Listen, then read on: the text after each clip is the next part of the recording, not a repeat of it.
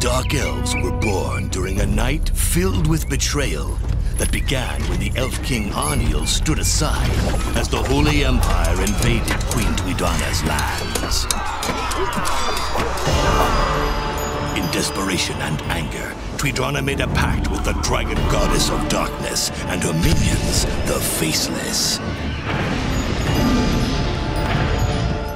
And so, this clan of rebel elves became the Dark Elves, and their new allies, the Faceless, took them into exile below the earth, away from the light. Their queen dead, their clan persecuted and broken, they wither while waiting with little hope for a new leader to rise. Raelag, Tuidhana's first heir, can unite his weary people by forging an alliance with the mighty Black Dragons.